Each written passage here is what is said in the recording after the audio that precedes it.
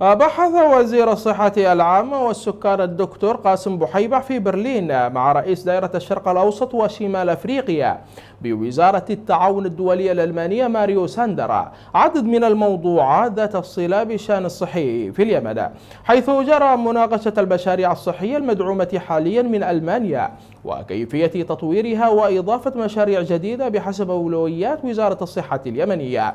وطرح الوزير بحيبة على الجانب الألماني رغبة الوزارة في عقد مؤتمر صحي بحضور جميع المانحين والشركاء لوضع خطة تعافي وتأهيل القطاع الصحي باليمن. وقد رحب الجانب الألماني بالفكرة.